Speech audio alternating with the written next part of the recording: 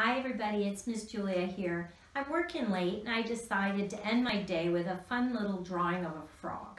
Um, I thought I would walk you through how to do a frog and put him in a cute little setting and I'm to do it in color pencil and chalk pastel. So whatever you have at home, uh, just use whatever you have, be creative, change colors if you want, but have some fun with it and enjoy.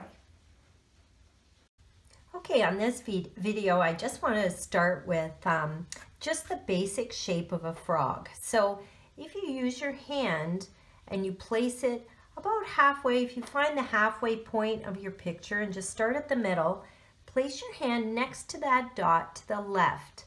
And what I'm going to do is start at my baby finger with another little dot.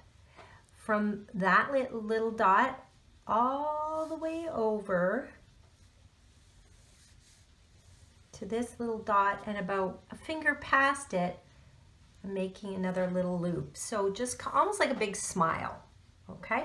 Now what I'm gonna do is I'm gonna take and draw the top and then I'm gonna work my way down and draw the bottom of the beginning of the frog. So he almost looks like a fish at this point.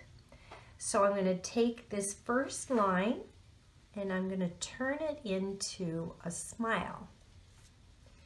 Okay, and then I'm going to add to the back of this, um, I'm going to add the beginning of a leg. So I'm going to come down, touch my dot, and draw a knee. Then I'm going to match that on the other side. Draw a little loop and another knee. Okay, so one knee on one side, one knee on the other side. Then I'm going to take, I'm to draw the back of his foot. And then in here, I'm going to draw a line, the back of the foot, and then I'm just going to connect his thigh right there. So leave that little line in there. We're going to use that. Now what I'm going to do is I'm going to add in a line and another line on the opposite side and then I'm going to connect it with the little webs of his feet. And then I'm coming underneath that little mouth and I'm going to draw a little jaw and a tummy. Okay, so the tummy is below this line. Now I'm going to keep the line and you'll see why. Now what I'm going to do is I'm going to take and add a little oval right here and another little oval, just part of the oval showing on the other side of his head. So that's his eyes. I want him looking up. So I'm going to draw a little pupil on both eyes. Then what I'm going to do is I'm going to color in the pupil and leave a, a little white dot on the bottom.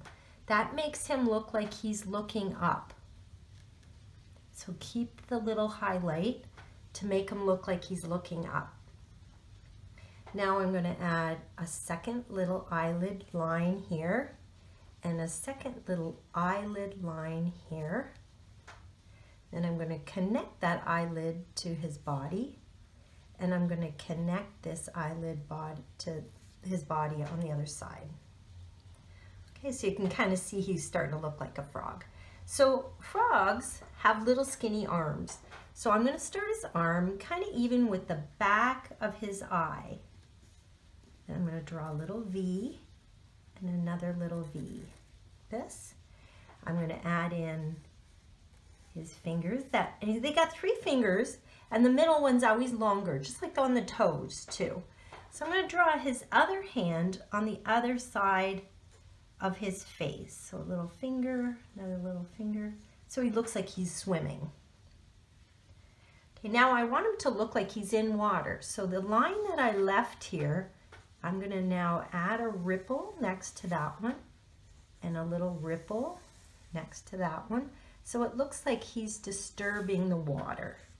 So just a couple little ripples past him like this. So now he looks like he's floating in the water. So the next thing I'm going to do is I'm going to add in the front a large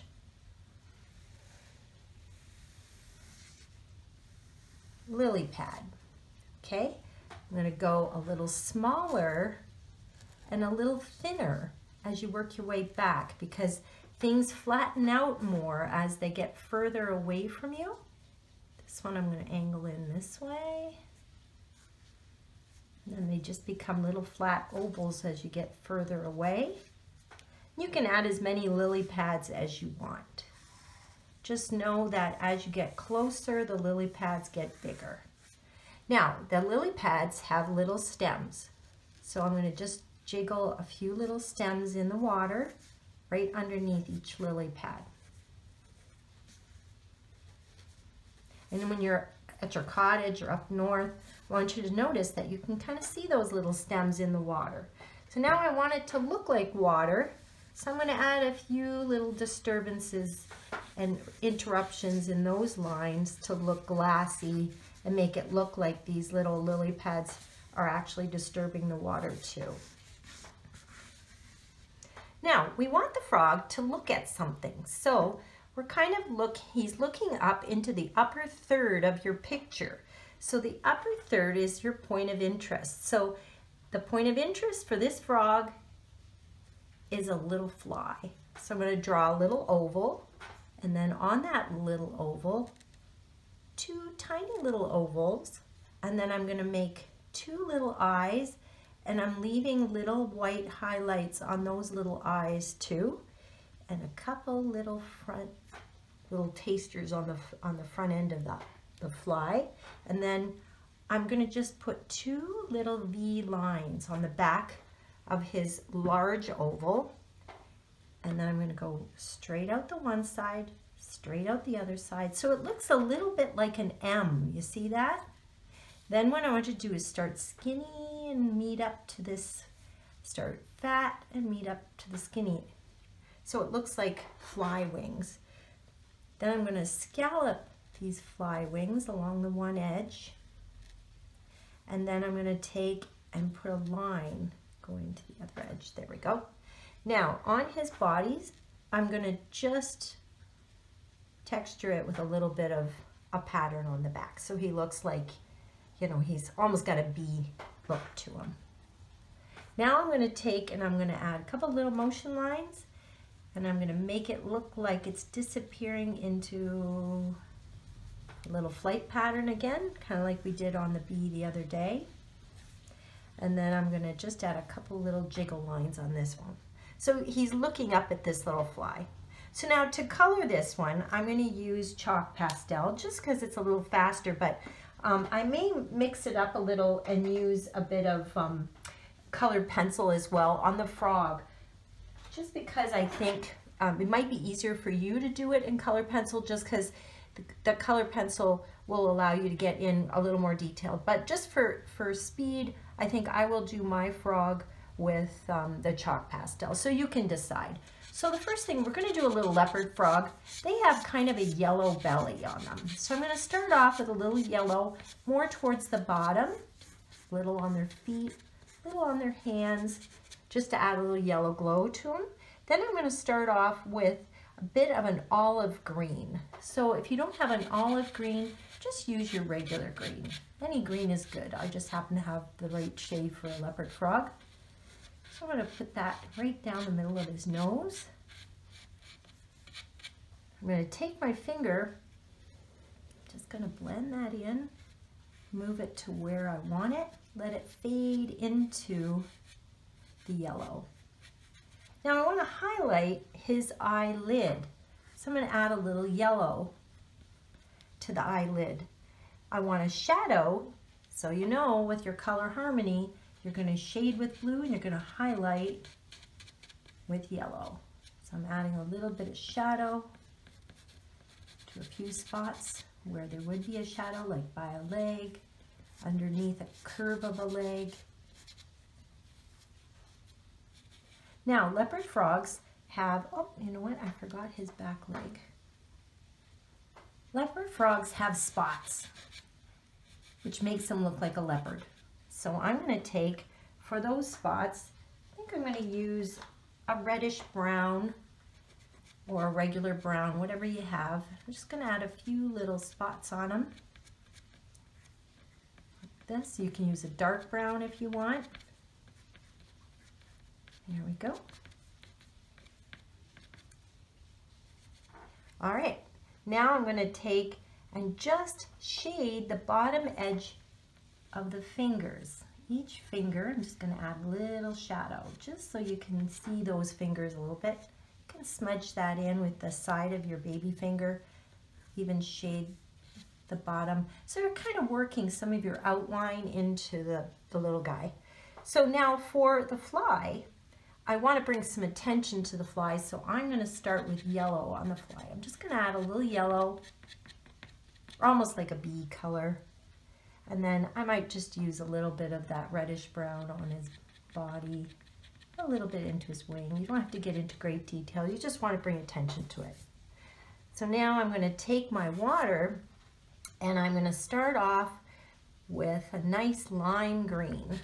So I'm starting with lime green because the reflection of those lily pads is going to be lime green. So I'm starting with lime green and I'm, if you notice I'm kind of going below the lily pads because the reflection will go downhill. So drag a few straight lines. That will make it look like the water is calm. So I'm going to drag a few, that's kind of a trick in cartooning is learning how to work with these either horizontal or vertical lines to give the impression of a cliff or shine um, or wetness. So we're going to use these downward strokes with that green to give you that shine. Now I'm going to go in with a nice light blue and I'm going to interrupt those downward strokes with a blue horizontal stroke. So I'm going side to side, I'm working my way around these little disturbances. So this is the lighter highlights in the water.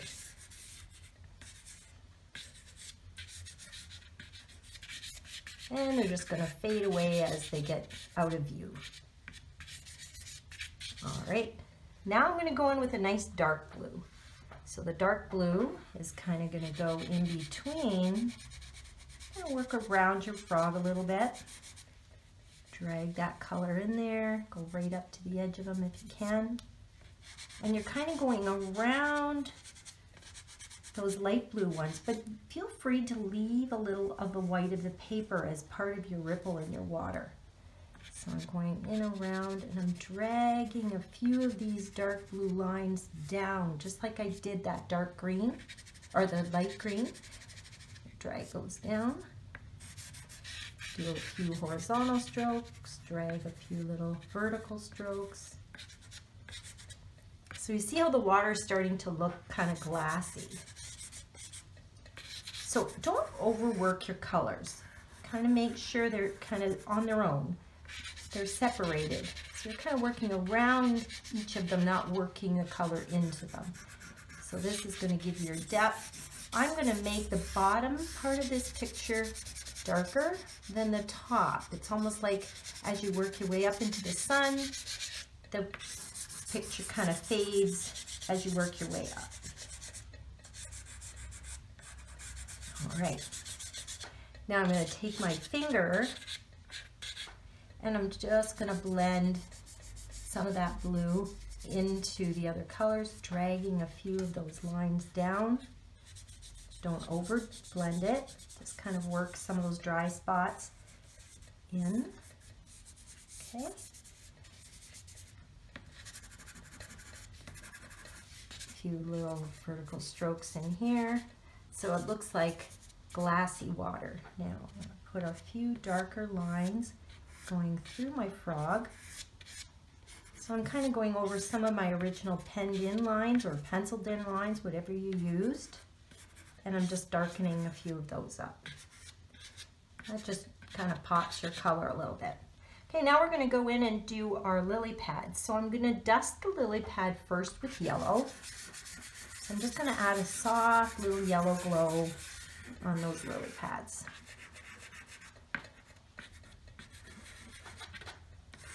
Okay. Don't worry if a little of the blue mixes in with it because we're going to add green anyway. I'm going to take my lime green.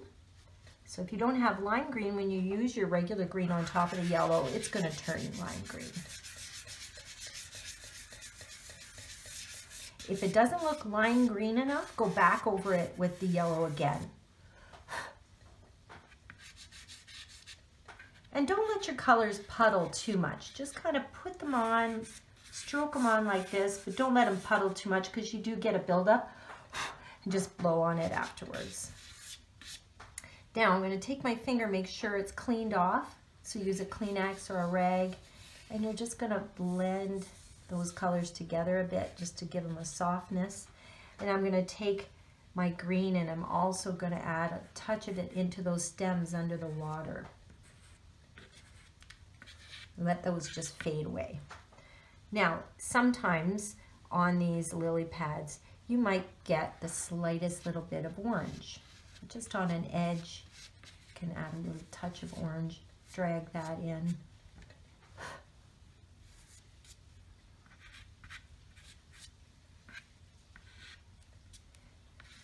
Just like a ripple or two on the edge, like this. All right, now you can clean up the edges where it meets your water by just adding a bit of blue and a few disturbing lines through it. So we want the water to kind of alter our stems a bit. Clean up your edges so that that contrast of the dark blue color against that light green is going to make those kind of come forward. They're not going to look so bland. All right. So now I'm going to just look at my frog, do any cleanup that I want to do. So I got a little Kleenex. I can roll it into a point and I can sometimes take out a little of that chalk that got in his eyes. You can use your knead eraser for that as well. Um, if you want to clean up your edges back here, you can either use your white chalk, knead eraser, fingerprints you can take off with your knead eraser. Um, anyway, this is kind of a fun, add whatever you want to it, but this is a fun little one to do. Good luck and have fun.